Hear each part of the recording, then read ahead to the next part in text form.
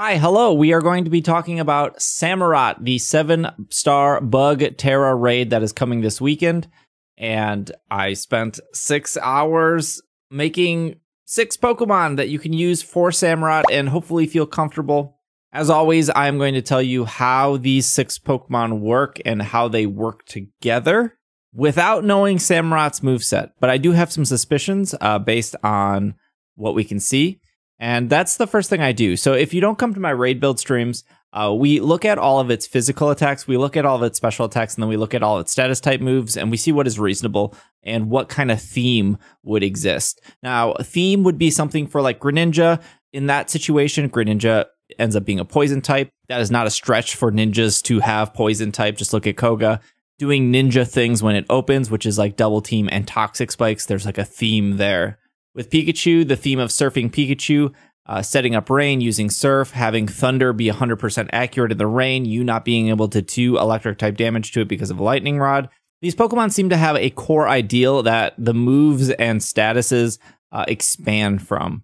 So, specifically with Samurott, we can look at its moves. It has a ton of physical moves, but not that many special moves. Uh, and it doesn't have a ton of status moves going on. And it is a mixed attacker, so its attack stat is 100 and its special attack is 108. That being said, I think it's going to lean into its physical attack because its physical attack pool is just so much deeper than its special attack. While I do think it may have one or two special attacks, just like Decidueye, I think we're really going to see a physical attacker. Now, status moves, we have something like Focus Energy, Encore, Swords Dance, Scary Face, Rain Dance, and Taunt talking about that theme, I think it's very likely that Samurott is going to be our focus energy Pokemon.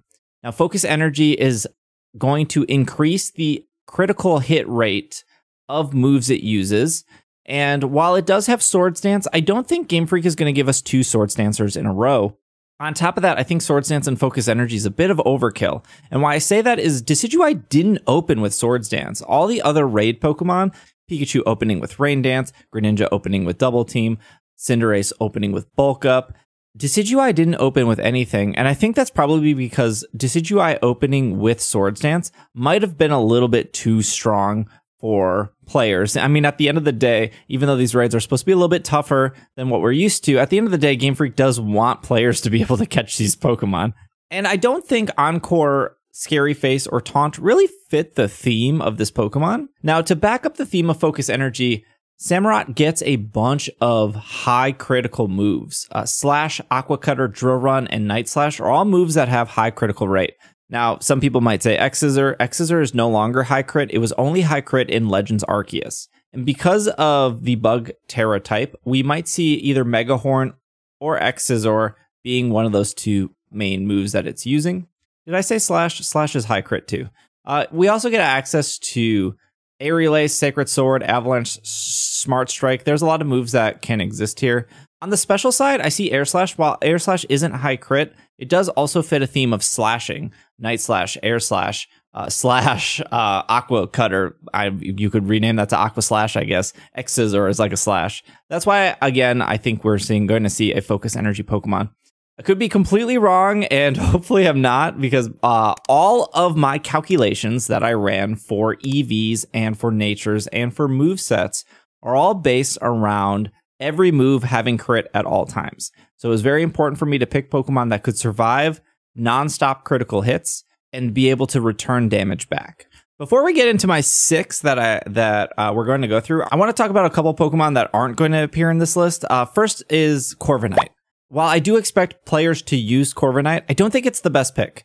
I actually built a six. Uh, uh I actually built a Corviknight for six star raid, five and six star raids, and it's fine. And that's really the most I can say about Corviknight is it's fine. It can do screens, although critical hit ignores screens, but there are better screeners.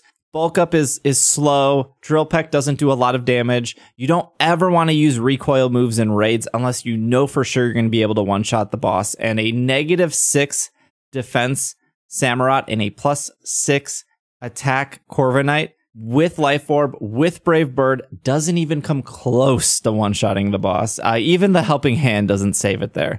Drill Peck is kind of your best option for flying type moves, and while Corviknight does have uh, decent stats and decent resistances, uh, I do just kind of feel like it's dead weight. I don't think it's the worst Pokemon to bring to this raid, and actually, I have a Pokemon that will make Corviknight much, much better if you do see Corviknights in the raids. But I, I can't, uh, you know, Corviknight's not in my top six, is is what it comes down to. Let's talk about Pelipper, another bird. I think it's very foolish to bring a Pokemon whose whole gimmick is to set up rain when the boss's original typing is water and rain would boost that typing. Now, I ran damage calculations and for the most part, Pelipper is fine against Samurott. I'm not worried about Pelipper. I'm worried about people bringing Pelipper, setting up rain, and the Pokemon sitting next to Pelipper taking more damage. For example, with Corviknight, Corviknight would survive two critical hit water type moves coming from Samurott, just barely. It's about 47 to 50%. If Corviknight is sitting next to a Pelipper, uh, all of a sudden that jumps to about 75% damage that Corviknight would take from a water type move. If there's four Pelippers, I guess that's okay. But again, um, we know that we know 100% that Samurott will have a water type move, and we know 100% Samurott will have a bug type move, just based on the two typings that it's bringing into this raid. I don't think it's smart to bring a Pokemon to set up Rain, which would boost that damage coming from Samurott. You could get away with bringing a Keen Eye um, or a Rain Dish Pelipper and not set up the rain, but at that point, you're not getting 100% accuracy in Hurricane. And I, again, it goes back to I think there are better Pokemon to bring.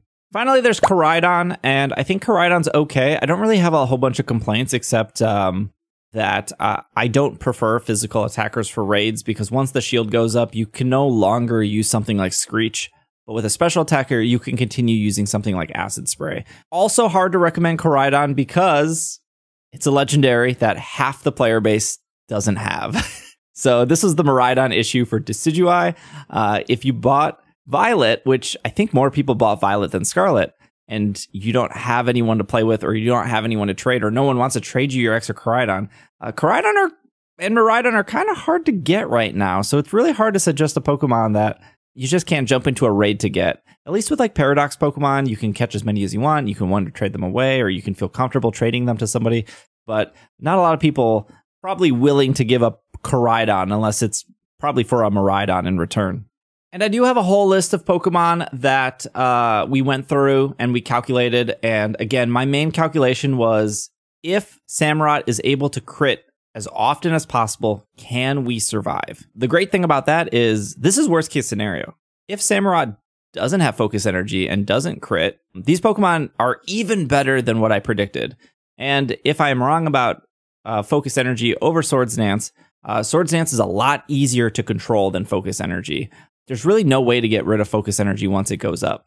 Something like haze does not remove focus energy uh, or clear smog. Those remove stat changes, and focus energy is not technically considered a stat change. Although I do suspect uh, kind of a similar thing to Decidueye, where focus energy may go up halfway through the raid.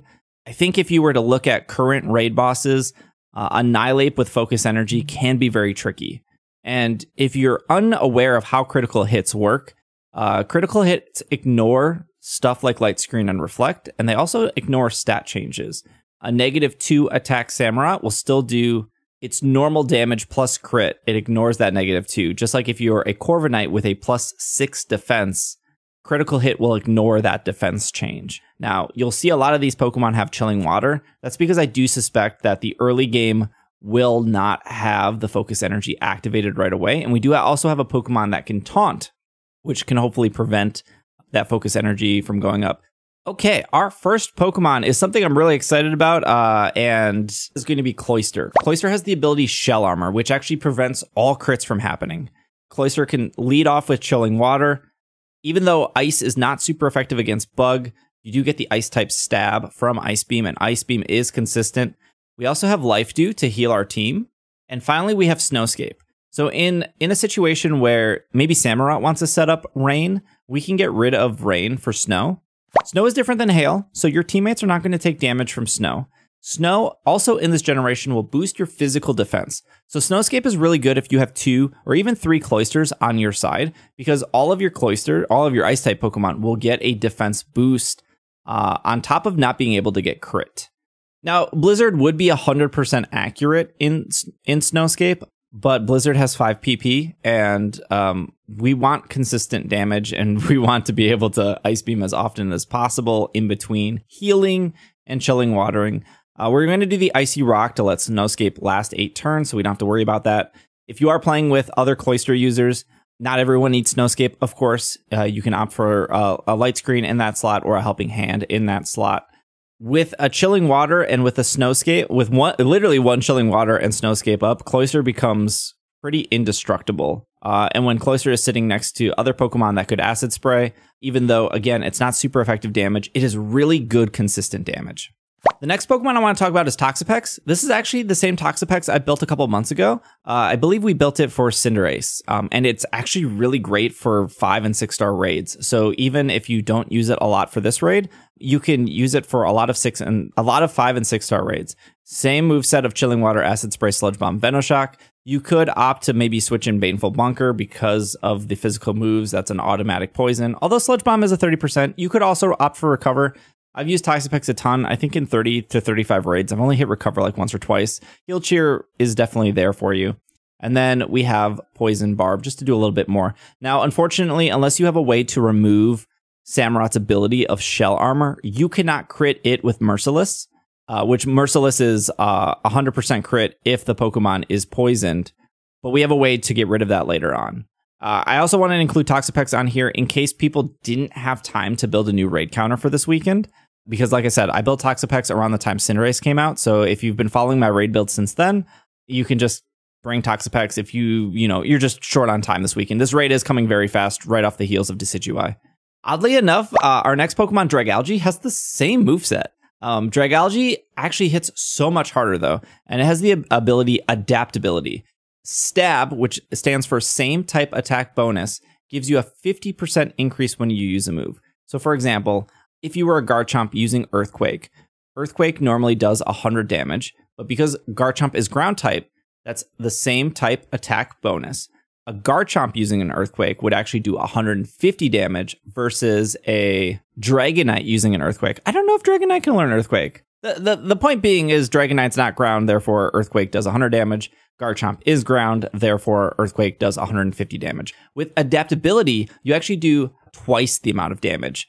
So, in this case, if Dragalge was ground and used Earthquake, Earthquake would do 200 damage instead of 150 or 100. This is this ties back to why I don't think Corviknight's that great in general, is because Dragalge ends up doing more damage with Sludge Bomb Venoshock than Corviknight could with Drill Peck just because of adaptability alone.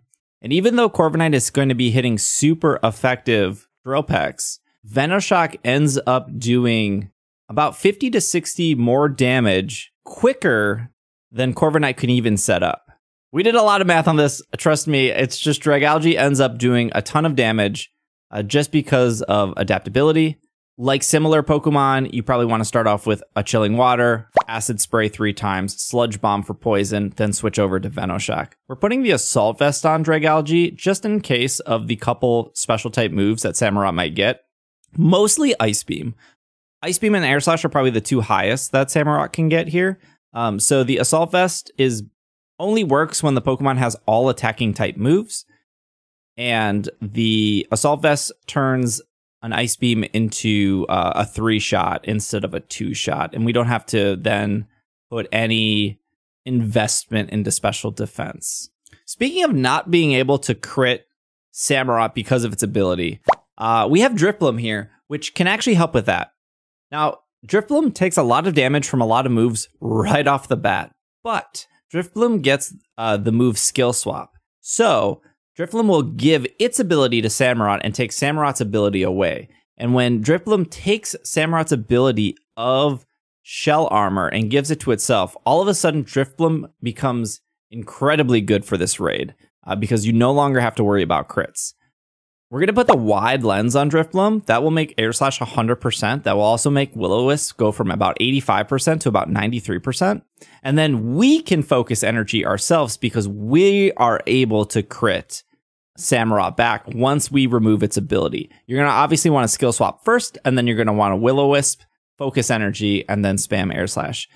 If you're worried about water type stuff or you are playing with Pokemon that lean into fire type moves, you could opt for Sunny Day. You could also opt for Strength Sap to get health back. Uh, the only problem with Strength Sap is it doesn't work once the shield goes up. And for Drifloon, the two abilities don't actually matter here. Aftermath only matters when you die. Uh, that's not going to matter when it's on Samurott because once it's dead, it's dead. Uh, and Unburden's not going to matter on Samurott because un- in order for Unburden to activate, you have to use an item. So you're going to give Samurott Unburden or Aftermath and because Samurott doesn't have an item to use, it will never activate. Ability wise, it doesn't matter too much with Drifloon. But I, th- I think the removing the ability and the early Will-O-Wisp will be very great for a lot of teams going forward. Real- realistically, you don't want more than one Drifloon on a team because only one Drifloon can steal the ability from the Samurott, and you you need to steal the ability to make Drifloon viable. Uh, also, just keep in mind if Drifloon does die, it comes back with its original ability. So that would be really bad. So if if you're more of a novice player, I wouldn't recommend using Drifloon. And if you do have a Drifloon on your team, just pay attention to its health. You know, if it, if it's out of heal cheers, heal cheer it obviously because Drifloon will survive a lot once it gets shell armor. Um, but obviously, if if it does faint, well, it won't faint because of critical hits because it can't get critical hit. Uh, but if it does faint, it's going to come back with Aftermath or Unburden, whatever it started with. Before I get to the next Pokemon, if these raid videos are helpful to you and if they make your life a little bit easier, please consider hitting the subscribe button, hit the like button, maybe leave a comment of which Pokemon you're excited to use for the raids. I spend hours calculating and trying to narrow down Pokemon that are not only fun to use or unique to use, but work really cohesively with other Pokemon. So we have a big community over on Twitch and in Discord, and they love playing together. And it's really great when Pokemon synergize together really well. I'm, I love doing these videos and I love making these builds. They take a lot of time. So again, if if these are really helpful to you, uh, I would appreciate the the comment, the like, the subscribe, all that stuff. We talked about Koraidon and Corviknight earlier, and I built a physical Pokemon that you can pair next to those. So just like how if you see a Drifloon in a raid or you or the Drifloon, you only want one Drifloon to come.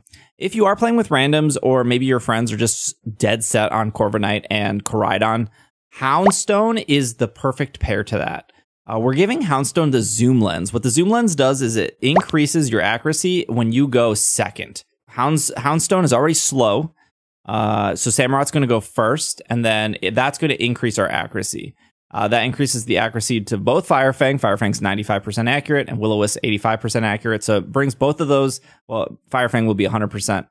I think it brings Will-O-Wisp to 97%. Um, but the bread and butter here is Howl. Howl will increase the physical attack to yourself and to all your partner Pokemon. So, like I was saying earlier, Corviknight's really only way to bulk up is to use the move bulk up. And if Samurott is critical hitting nonstop, the defense part of bulk up is pretty useless. And getting a plus one every turn is very slow. Um, you could attack cheer and give everyone a plus one, technically, or you can bulk up yourself to get a plus one. If you do have Koraidons and Corviknights next to you, Howling will accelerate that and it also accelerate your own, and then you can hit your Fire Fangs. Now we we do want to lead off with a will o wisp. Obviously, we even though critical hits ignore stat changes. When you burn Samurott, it will decrease its attack through a critical hit. Zoom lens will help us not be an Aaron Zheng and not miss our will o wisp. And Houndstone's ability of Fluffy will prevent so much damage from coming in. Will-O-Wisp will keep your teammates alive, it'll keep you alive, but your ability itself of Fluffy will keep this dog going. Uh, the only reason Lick is here is Lick has a 30% chance of paralyzing, so when raid shields go up, you have a chance of paralyzing, which is very helpful, very, very helpful to paralyze a raid boss if if anything you can do uh, on that end. We have Sunny Day as an option, although if again, if you're playing next to a Koraidon player, they're going to set Sun for you, and of course you have Helping Hand. Um, which you could help Koraidon do more damage with Helping Hand if you feel like a Lick is not getting you the mileage. But Houndstone doesn't pair well with the other Pokemon in this video, but I did want to give you guys something in case you're leaning the physical route. And finally, the Pokemon, the one I'm most excited about is Toxicroak. Now, Toxicroak can be an absolute rock star and carry a lot of raids and actually have potential to solo this raid. Uh, but at the same time, depending on Samurott's final move set, it could go terribly bad. With Toxicroak's ability Dry Skin, it can't get hit by any of the water type moves, and because of the poison and fighting typing, uh, it actually takes a lot of moves like Night Slash or Mega Horn and makes them not really effective. Even with no shields or no defense boost, Toxicroak takes very little damage from some of the slashing type moves that Samurott might have. Toxicroak kind of runs in trouble if Samurott has Drill Run or Ice Beam. Now, Ice Beam doesn't have high crit, and Fire type Tera will negate will reduce that Ice Beam damage. But Toxicroak can survive a lot, and even those hard hitting moves, Toxicroak should be able to get all of its health back with the amount of damage it's doing and Shell Bell.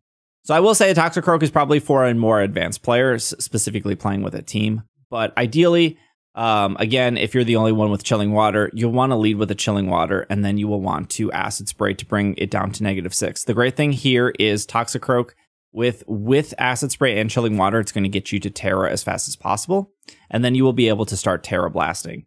Now, if you are playing with somebody that can set up Sun, you're going to get a huge damage boost because of that.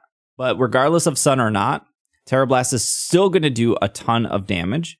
You could also opt to run Flying Tera type instead of Fire Tera type. Um, you don't get the Sun boost.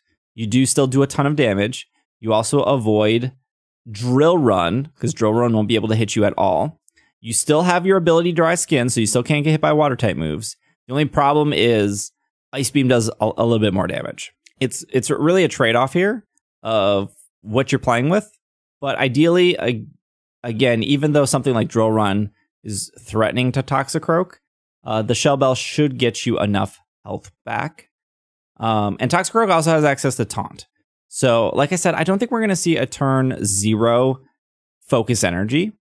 I do say I do think we're going to get the focus energy when the raid shield goes up. So when Samurott's about 70 to 60% health, you'll want to taunt, raid shield will activate, then it will no longer be able to focus energy.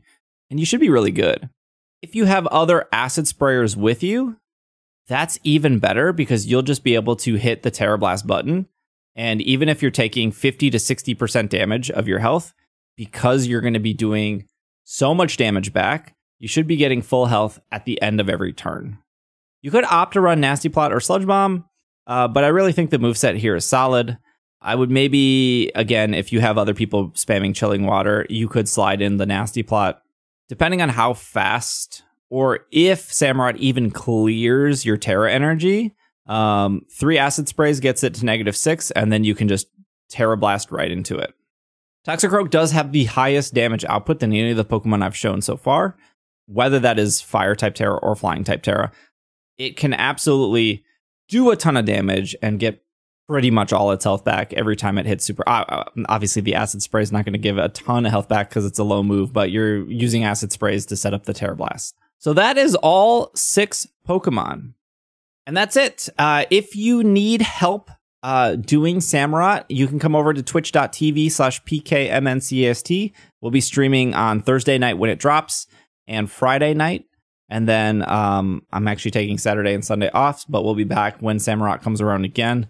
I try to help as many people get through as many raids as possible uh, over the weekend and answer any questions. And yeah, help you guys out if there are dramatic changes or I'm terribly wrong about my raid builds, uh, I will post an updated video uh, with some tweaks. But I'm feeling really good about this. Uh, again, I could be completely wrong about the focus energy, but even if Samurott doesn't have focus energy, a lot of its moves in its arsenal do have high crit already. Yeah, again, hope you enjoyed the video, and I will see you guys next time.